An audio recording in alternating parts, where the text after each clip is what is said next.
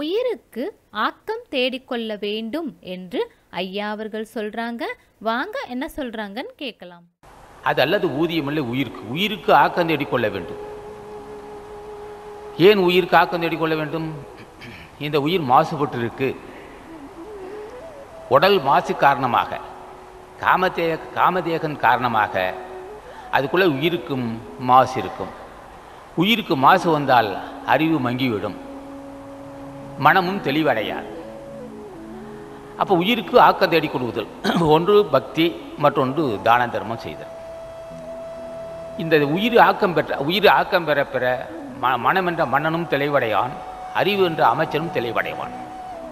இதோடைய விளைவுகள் ஆன்மா ஆன்மலாவும் பெருக பெருக ஆன்மா தெளிவடை அடைய உடம்பை பற்றிய உணர்வு வரும். உடம்பு உடம்பை காப்பாற்றிக் கொள்ள வேண்டும். உடம்பை காப்பாற்றிக் கொள்வது நல்லது. அப்போ உடம்பை எப்படி காப்பாற்றிக் கொள்வது? அசைவ உணவு கொடுத்தா சைவ உணவு தர வேண்டும். அப்போ உடம்பு இருக்கும்போதே நல்லது செய்து கொள்ள வேண்டும். எச்சரிக்கை வந்துடும் அப்போ உடம்பு இருக்கும்போது உயிர் காக்கம் தேடிக்கொள்ள வேண்டும். உயிர் என்பது மூச்சு காற்று இயக்கம். மூச்சு காற்று வந்து போயிட்டு இருக்கும் அப்போ உடம்பு என்ற கோட்டை அரண்மனை திடமாக இருந்தால் தான் வந்து போகும். இப்போ உடம்பு என்ற கோட்டை நலிந்தால் நிச்சயமாக வந்து போகின்ற காற்று நின்றுவிடும். வந்து போகின்ற காற்று நின்று விட்டால் ஆன்மா ஆன்மா அதை விட்டு பிரிந்து விடும் அதான் நல்லவன் சொல்லுவான் அன்றறிவா மென்னாத அரஞ்சேக மற்றது பொன்றுங்கால் பொன்றா துணைன்னா பிறகு நினைக்காது ஆன்மாவுக்கு முதிர்ச்சி இல்லை பரிணாம வளர்ச்சி இல்லை நரதரை இல்லை ஈழ இருமல் இல்லை. ஆனால் அது தங்குகின்ற வீடுக்கு நரதரை உண்டு ஈழ உண்டு நோய் உண்டு. ஆன்மாவுக்கு நோய் கிடையாது உடம்புக்கு தான் நோய். பிறகு என்று சிந்திக்காது. அந்த அறிவாம் என்னாது அரஞ்சேகனர் பிறகு பார்த்து கூட நினைக்காது. ஏனென்றால் எந்த வினாடியும் உயிர் போகலாம். மேலும் இந்த ஒன்று இந்த ஆன்மா ஒன்பது வாசல் கொண்ட அரண்மனை இது.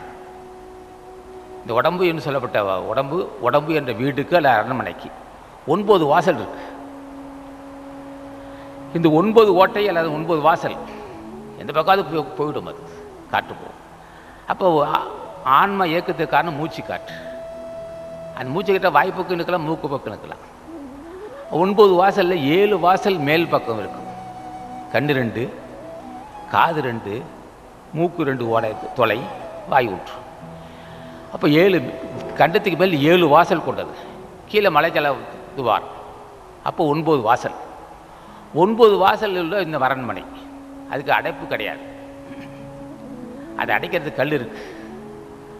வீழ்நாள் படாமை நன்றாற்றின் ஆசானது அருளுரைகளை தொடர்ந்து கேட்க அரங்கர் டிவிக்கு லைக் பண்ணுங்க சப்ஸ்கிரைப் பண்ணுங்க மறக்காம பெல் பட்டனையும் கிளிக் பண்ணுங்க.